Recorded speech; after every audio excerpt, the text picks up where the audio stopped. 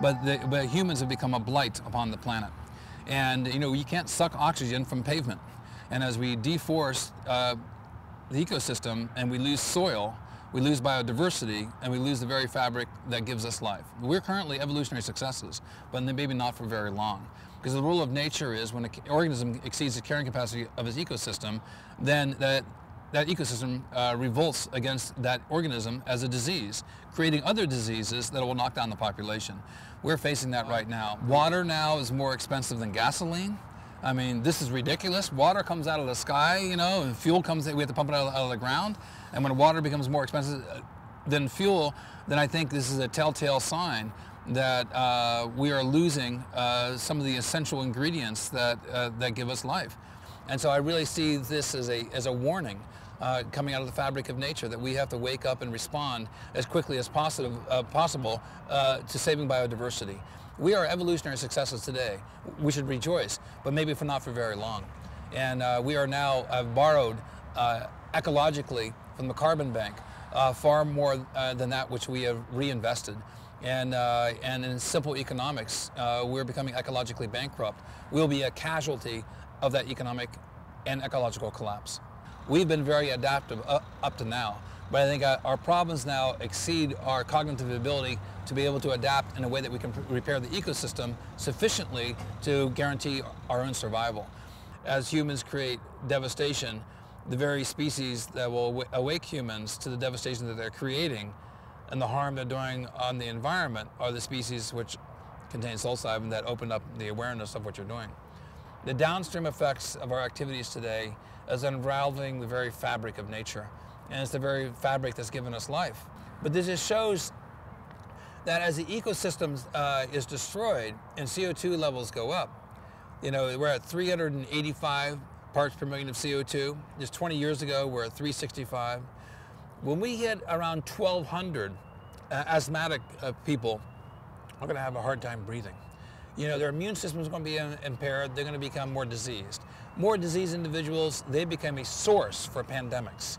More, more viruses then will spread, more people will be sick, the health system will be overloaded, ecosystems will continue to decline, and resources will be, uh, will be even more and more stressed. As we go to 2,000 parts per million to 5,000 parts per million, massive extinction of large mammals. We hit 10,000 parts per million, virtually all animals uh, larger than a, uh, than a mouse are, are, are going to die off.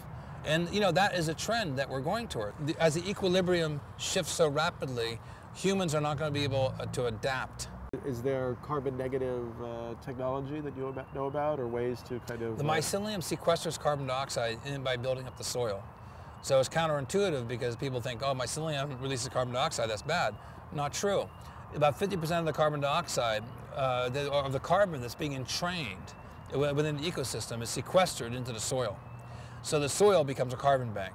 Soil is created by fungi. The thicker the soil, the more carbon dioxide that is sequestered. The loss of soil today is causing a tremendous impairment of the food chains, uh, poverty, uh, disease, uh, you know, uh, and increasingly restricted resources. And as we lose the soil, we lose the carrying capacity of moisture within the ecosystem. So we, you know, we have increased uh, arid zones, and as that result, then you're going to have wars between yeah. cultures that have water, cultures that don't, cultures that have food, cultures that don't, cultures that have fuel supplies, cultures that don't. And so it's going to fracture and create antipathy between the haves and the have-nots. And we may think that we're godlike creatures on this planet that control the environment. I assure you that is not the case. We may be able to temporarily wreak devastation on the ecosystem, but the ecosystem holds the cards. And at the end of the day, the ecosystem is going to determine whether we survive or not.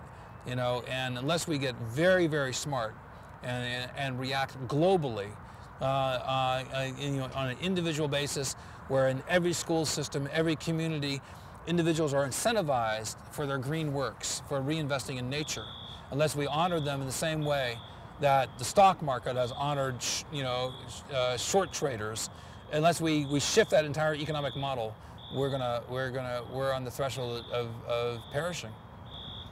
what do you think of one of our, you know, uh, memes that we're using in this film is 2012, which I wrote about in my work and so on. Uh, I mean, do you find it interesting that this transition period corresponds to, you know, maybe what these indigenous traditional cultures had to say about about the future, their perspective? Well, you have to wonder.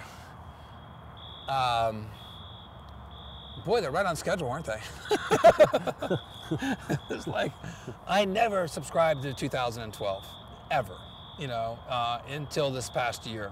As you've written about, 2012 may be just resetting. You know, it's like uh, you know hard crashing a computer and go to reset. So that may indeed what, what is happening. Uh, the failure of our economic system, I think, uh, speaks to some underlying misrepresentations and bad assumptions. Obviously, um, capitalism is not sustainable when you have these uh, so many derivatives that are, exceed the wealth of the world, and yet they have made bets on derivatives upon derivatives upon derivatives. You know, it's no longer anchored in reality. It's, it's all so divorced from what is real. I'll never be an apologist for my use of psilocybin mushrooms. Uh, they've been extremely important to, to my life um, and have been central to my spiritual belief system.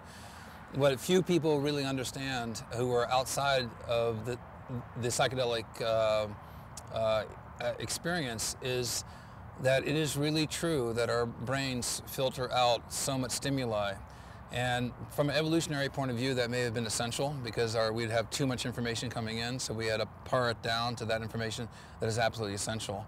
But psilocybin uh, mimics, uh, it, it is very close to serotonin. It, it becomes a temporary, uh, it becomes a temporary, uh, a temporary neurotransmitter.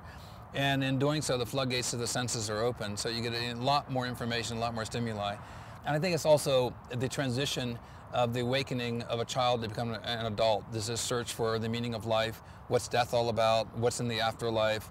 Um, and so I think this is a common practice uh, and theme throughout all cultures. As young men and young women become adults, they seek meaning in their life. And so when I uh, partook of the psilocybin mushrooms for the first times, and then subsequently, I got this very common theme that I never received in any of my other experiences in life.